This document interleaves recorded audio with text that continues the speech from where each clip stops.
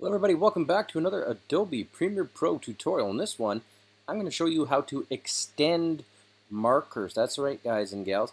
Um, you'll know here if you've worked with markers in the past, one of the ways you can do it is you can just go bring some footage in, go to your timeline, and then where there's a spot that you want it to stop, you simply press the M key. And you'll notice here that a marker's been made. And then you go forward a little bit and you hit M key, and there's another marker, okay? I'm going to control or command Z out of that so that's not done and it's undid or undone, whatever you want to call it. And now I'm going to show you another way. Here we go. We've got the original footage here. I'm going to drag and drop it into the source panel just like that. Now watch this. We're going to extend the marker. So I'm going to drag this little playhead forward and let's say right around here is where I want to mark it. So here we go. I'm going to hit M and that marks it. But now the extended part.